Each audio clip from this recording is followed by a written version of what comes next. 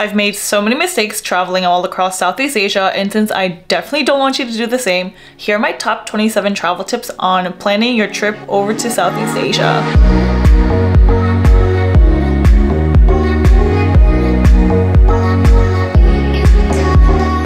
Hi, I'm Grace, and for seven months I've solo traveled all across Southeast Asia, getting lost and taking photos across Thailand, Vietnam, Philippines, Cambodia, Indonesia, and Malaysia has been a dream ever since I got into travel photography. Even with a global shutdown, somehow in some way made it work. And through all of the challenges, yet some of the most memorable moments of my life, I'm here to share with you everything you need to know before your visit. Right before I went, I had absolutely no idea what I was doing to plan. And when I decided to go, it was right around the end of COVID. So a lot of countries were still closed off. Entry rules were changing by the day. And I was really nervous. I wasn't even sure if I was going to make it over to my first country, which is Thailand. But somehow, in some way, I've been able to navigate my entire journey by myself and obviously with the help of, a lot of few friends and amazing locals I've met along the way. And if this is your first time traveling in Southeast Asia, you're probably wondering when the best time is to go. So from my experience, I landed in Thailand in January and that was the most perfect time to go to Thailand. There are some times of the year where it gets really, really rainy, but I totally recommend that if you're planning on going to either Thailand, Vietnam,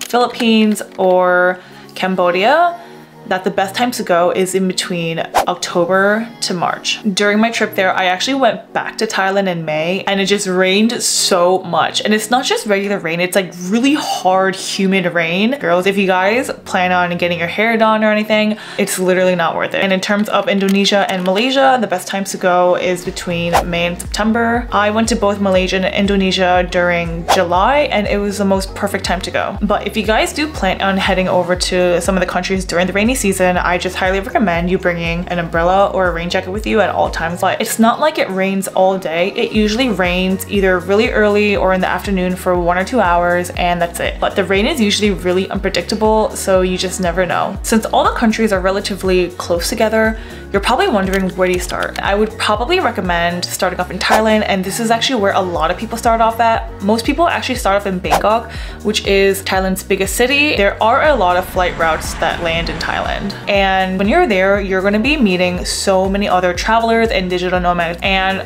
also a lot of locals who's been traveling Southeast Asia and been living there for years. So they obviously have the best advice to give you. For me, I flew from New York all the way to Seoul, Korea. And then from Seoul, Korea, I transferred over to Bangkok, Thailand. During COVID, there weren't a lot of flight options. However, this was the best route for me. And obviously also depending on how long you're planning on staying in each country for, flights in between cities are relatively cheap. There were times I've spent $30 from one city to the other and then really last minute flights I've spent 140 US dollars.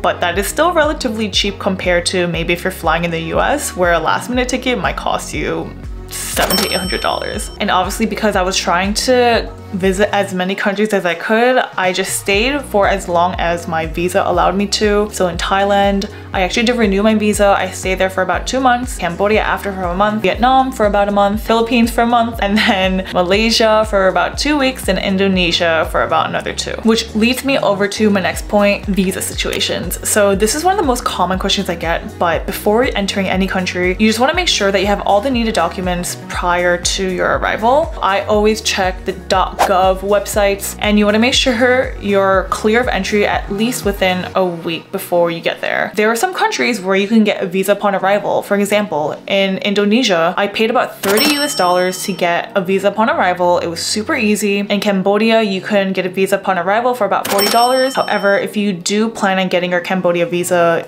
beforehand, it's maybe 10 or $15 cheaper. When I was entering into Thailand, I had to go through the Thai pass because this was still under COVID and it was really strict trying to get into Asia in general. But just make sure you have your approval at least a week before. The country that took the longest time to actually get approved was actually Vietnam. That took me about four or five days to actually get approved. I heard if you are in Vietnam maybe even a day after your visa expires, you can get in a lot of trouble. So you just wanna make sure that you're following the rules at all times. I know I should not have favorites, but so far out of all the countries I've been to in Southeast Asia, I think Vietnam has been my favorite. it's a little sad that I'm leaving tomorrow but I'm gonna make the most of it and then reapply for my visa before I go home back to the States, whenever that is. I don't wanna go. I don't wanna go back. Obviously, when you're packing, you might be thinking, oh my gosh, I need to bring this, I need to bring that. Honestly, guys, I highly, highly recommend that you underpack. It's better to underpack because when you're there, you're gonna wanna shop. There are so many markets all around every country. There are walking streets, food markets. I literally brought one pair of sneakers and one pair of sandals and those are the only two shoes that I wore within seven months. My sneakers, they're still in good shape right now. I did bring hiking shoes just in case, but I just only wore them one time when I was trekking in Sapa. And okay, I will say that was worth the bring, but you don't necessarily need to bring any type of hiking shoes. I also recycled the same three or four tank tops. I bought shorts in Thailand and I wore them literally every single day. So I really put good use into them. In terms of medicine, you do want to bring the right type of medicine that works for you. So when I got to Thailand, I actually got COVID for the very first time in my life and I was put under a 10 day quarantine. This was my first time in a new country. I was all by myself and I had some medication and I'm really thankful that I did bring them and I've used every single one of them at least once during my trip. So once I got out of quarantine, I explored Bangkok, Thailand for the very first time. I'm finally all packed and ready to leave this place. I can't believe I've been here for 10 days. Honestly, kind of feels like three. And I'm finally gonna be exploring Bangkok. Oh my gosh, I can't believe I'm in Asia. What? it hasn't hit me yet. So you're probably wondering, was it safe? Traveling all across Southeast Asia was extremely, extremely safe. I never felt scared or worried for my safety. And actually, I learned this because I did post a YouTube video thinking that I came across a man with a gun at an airport in Vietnam, but locals were commenting on my videos and they were actually saying that it's actually illegal to own a gun in Vietnam and you could potentially go to jail. In terms of solo traveling friendliness, it is very, very solo travel friendly there. But obviously wherever you are in the world, you want to take precaution of yourself and your safety. It's also really easy to make friends. There are people who are in the same mindset as you. Till this day, I still keep in contact with people that I've met while solo traveling in Southeast Asia and I miss him so much. If you are interested in taking your very first solo trip, I've actually created a guide on how to prepare you for your first solo trip. So if you're interested in that, I will leave that link in the description below. Along with being very solo travel friendly, obviously Southeast Asia is known for budget and backpackers. Personally, I haven't backpacked Southeast Asia, but I chose not to. And the reason why is because I already have one big camera bag that I have to carry around. So if I added that into a bigger backpack, I would have had no space for anything else. So for me, I brought in a fanny pack, a big backpack. Okay, backpack, let's go. Ugh, I have this love-hate relationship with this backpack. Actually, it's not that heavy today. I'm only carrying one tripod and not two. And then a big luggage. And I think when I first got to Southeast Asia, it weighed about like 45 pounds.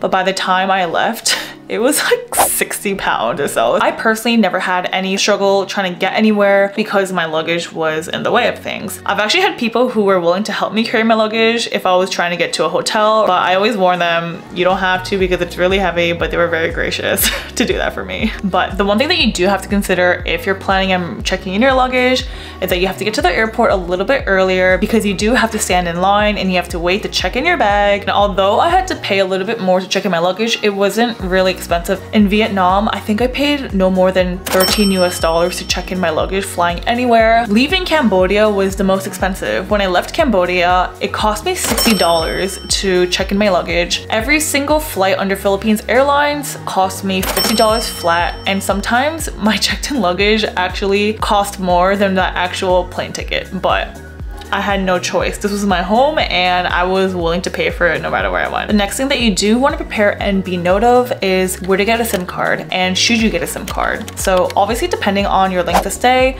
and your phone carrier, maybe you want to opt in for your phone carrier's international phone plan. But for me, because it was more long term and I had no idea how long I was going to stay in Southeast Asia for, I got a physical SIM card in every single country. And no, I did not buy a SIM card at the airport. And I easily could have, but obviously everyone knows that it's more expensive to get a SIM card at the airport. But then how did I get around if I didn't have a SIM card from the airport to my hotel? So in all the airports, there is really good working Wi-Fi. And if you guys don't know already, the main taxi driving app in Southeast Asia is Grab. Grab is like the Uber of Southeast Asia. Before you get to Southeast Asia, you want to download the Grab app. You could request cars, motorbikes, tuk-tuks. You could even request food on this app. And so before I got to any hotel, I made sure I connected my phone over to the Wi-Fi and then I would call the Grab car to pick me up. And because my Grab app was linked to my credit card, but just automatically charged my card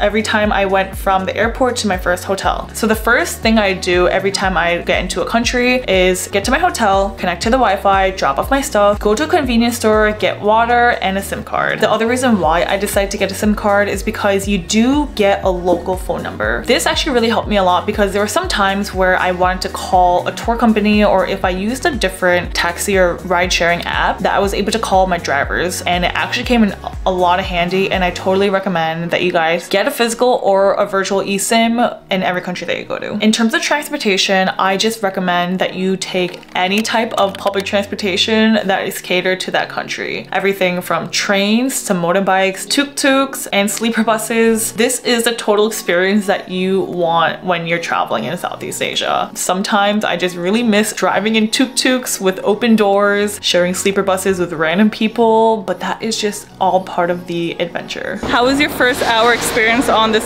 sleeper bus? Excellent, excellent. Oh uh, yeah? There's about that much space. Not even two bodies wide. It's no, it's, two foot wide. Yeah, it's probably, yeah. Next important tip is that no matter where you're traveling outside of your country, you wanna make sure that you have an international health insurance. Just in case anything happens to you abroad, you know that you're covered. The international health insurance that I use is called Safety Wing. It's $42 a month and you're able to resume and cancel your plan at any time. It was an ease of mind and it backed me up in case anything happened to me. Obviously, we all know how annoying it is when ATMs just eat up our withdrawal fees. Wherever you are in the world, I cannot express this enough that I highly, highly, highly recommend everyone to get the Charles Schwab debit card. Oh my gosh. I have saved hundreds of dollars I never got charged an ATM fee or foreign transaction fee. At the end of every month, you actually get the ATM fees back into your account. It was definitely an ease of mind and it kind of just worked perfectly because I didn't have to carry huge amounts of cash at one time. Alongside with this is that if you need to call a family or a friend urgently back at home, but you don't want to spend all of your minutes, download Skype. I have been able to call US based numbers on Skype and it has really saved me hundreds of dollars. I want to say I used Skype calling at least once or twice a month but aside from this that no matter what country number that I actually got I was still able to FaceTime my friends. I started using Facebook Messenger again and if you guys are watching this from the US yeah you gotta re-download Facebook Messenger because it's one of the most popular apps that's actually used in Asia. Some countries not even Instagram it's literally Facebook Messenger. But it was that and then I also was able to call some people through Instagram as well. So I had a couple of options. You want to also download WhatsApp and Telegram and if you're going to China then WeChat. And then all across Southeast Asia there was really really really good and fast Wi-Fi because there's a lot of travelers that come in and out of the countries. Having good Wi-Fi is literally one of the most important things. There are a bunch of cafes, restaurants that will just allow you to use your Wi-Fi. But when I was traveling there were actually some websites that I could couldn't get access to because my IP address was not in the States. But what's also really handy is getting a VPN. I used my VPN from NordVPN and this was literally a lifesaver and I was able to access websites while I was traveling abroad.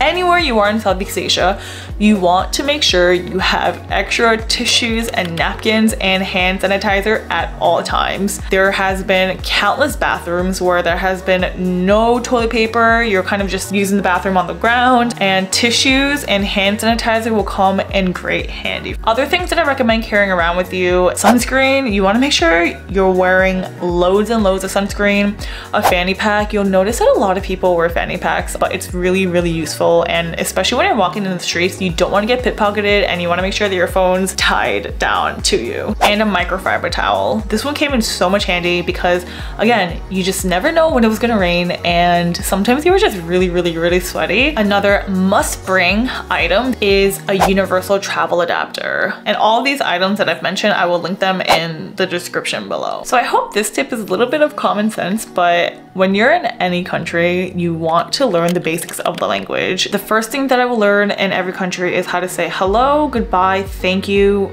bathroom, and bill. I never had a problem or had trouble trying to get around anywhere because there were a lot of people who knew at least a little bit of English, which helped a lot. But if I was in an area or if I was trying to communicate with someone who didn't know English at all, I would use Google Translate and it was on point. If you are worried about the tap water in Asia, I don't recommend that you drink them, but that you buy the water bottles at convenience stores. The big water bottles are really cheap. They're about 50 cents. The little ones are about 25 cents. I actually did bring a water bottle with me, but surprisingly, I didn't even use it once. I thought I would use it a lot more, but the plastic water bottles at the convenience stores are just a lot more convenient. If you are grabbing street food and you're a little bit worried about the water that they use when cooking the food, don't be nervous at all. I personally have never gotten food poisoning or a bad food experience when I was there, but if this ever does happen to you, this is why having medicine is really important. Girls, it doesn't matter if you're not expecting your period to come or not, bring extra tampons with you. It was really, really difficult to try to find tampons. And if I did, they were really expensive and there weren't a lot. I thought I brought enough tampons, but it only lasted me for about three months. And it was just really, really difficult trying to find tampons. Of course, places has pads, but good quality tampons were just really, really hard to find. Where did I stay in each city? How did I know where to stay? What district? All right.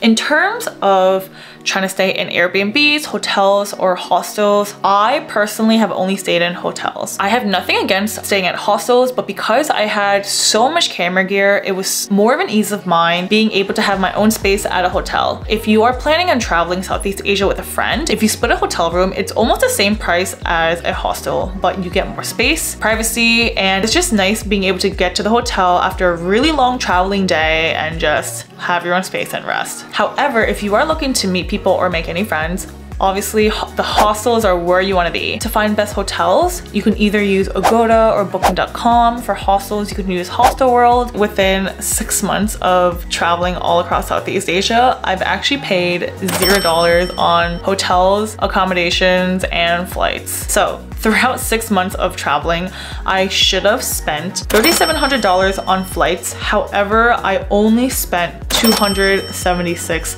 dollars. And what's funny was I actually spent more money out of pocket on checked in luggage, which was $546 in terms of hotels. I, yes, I did write everything down. I'm checking my notes right now. In total, I should have spent $4,350 on hotels. However, I spent $539 instead on hotels. And so I have saved a lot of money. And how did I do this? I have prepared and I have saved a lot of credit card points before my travels. And if you guys are interested in how I did this, I actually made another credit card video. If you guys are interested in watching that, I will also leave that in the link in the description below. So what was the total spend traveling in Southeast Asia? Overall, with flight and hotels and transportation, I should have spent $9,000 However, I cut that down to zero. So over six months, I've spent about ten to $11,000. But this also depends on the type of spender and traveler that you are. I wouldn't necessarily say I'm like the most budget traveler. However, I don't really spend a lot as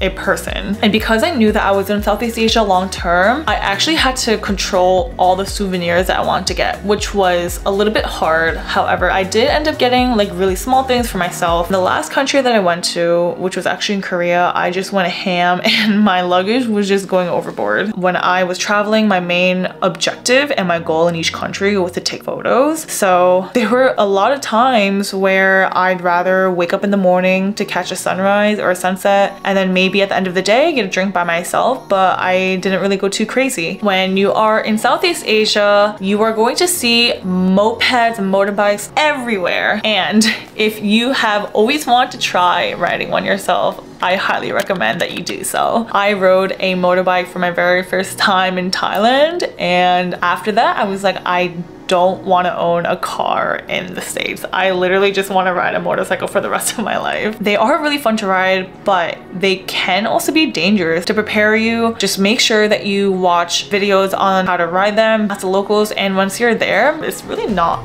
that difficult. But the one thing that I'd recommend that you get is an Apple Watch because the first time I ever rented the motorbike was in Chiang Mai and I was like, how am I supposed to look at my phone and navigate where I'm going to?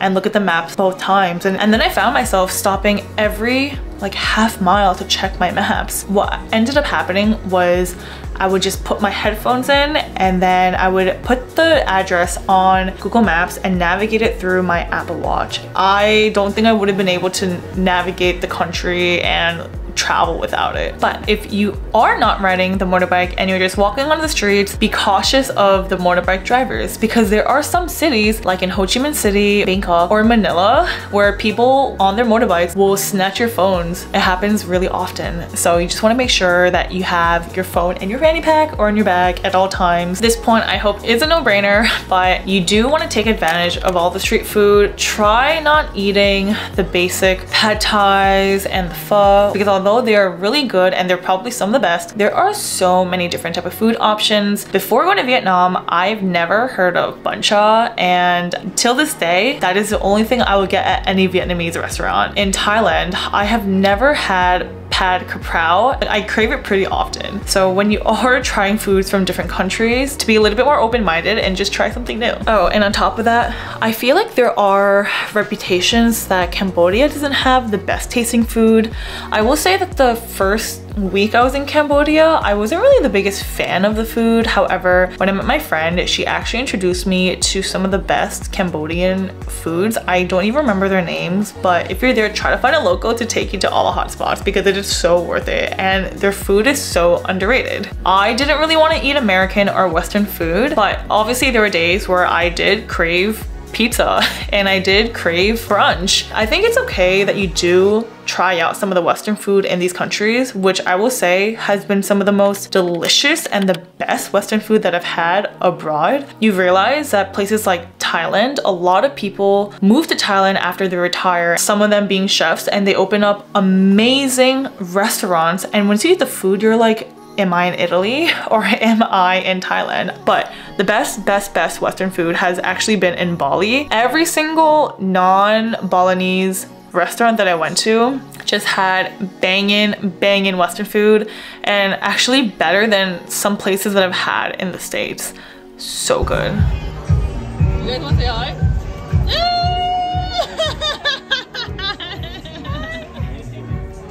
So if you are planning on going from country to country, to note that some countries actually require you to have an exiting flight. Let's just say, for example, you're going to Vietnam. You have to make sure that before you enter the country, you need a flight stating that you're leaving. But once you are checking in for your flight, don't freak out because you will be able to purchase a flight at the gate. Overall, all the people within Southeast Asia, they're so incredibly nice. Like I didn't realize how nice they were. People there are so friendly. They're so welcoming with open arms and they're really happy that you're traveling in their country. So last but not least, tip number 27, don't forget to show off your confidence. Whether or not you're traveling by yourself or with a group of friends, people know and they can sense your energy. Honestly, once you allow yourself to just be in the moment and just immerse yourself into the country and the culture, you're gonna feel so free. I was so scared going to Thailand by myself because I unexpectedly had to go through a 10 day quarantine. I didn't know anyone in the country. I just kind of had to calm myself down and learn how to be present with myself. With all of this being said, these are my top 27 travel tips on when you're planning your trip over to Southeast Asia. And from all the hundreds of mistakes that I've made, I hope that at least one of these travel tips have helped you plan your trip better. And Although I am not currently traveling right now, I hope to do so in the next few weeks to months. But if you guys haven't done so already, don't forget to like, comment, and subscribe onto this channel for more travel vlogs like this. And I will see you guys in the next video. Safe and happy travels, y'all.